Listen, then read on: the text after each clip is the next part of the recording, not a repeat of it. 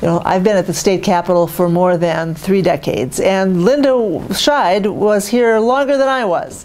She had been a state representative uh, in the mid 1970s when the Democrats had their biggest majority. She was also in office when the Democrats were at their low ebb, which would have to include this past session as well.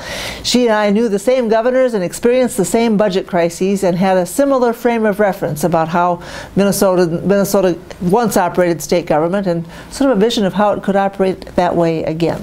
That way being a more congenial place than it has been of late, a place where ideas mattered and, and didn't necessar- weren't necessarily driven by party ideology, and where relationships really are, were what drove the, the, the, the governance of the state. Well, Linda was a, a, a, person who grew up in, in modest circumstances in St. Louis Park.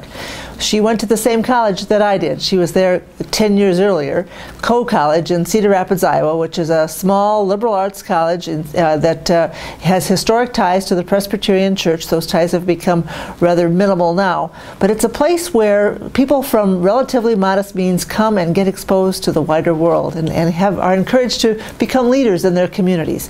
I think Linda really took that message to heart, and it was at a quite a young age that she decided to seek service in the legislature as a, a career path for herself.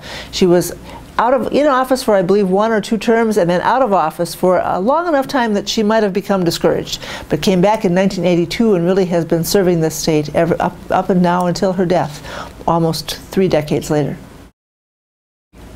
Linda worked in a part of state government that doesn't get much publicity, the regulation of financial industries. Important work, but very seldom would that rise up to uh, uh, uh any kind of acclaim or widespread attention.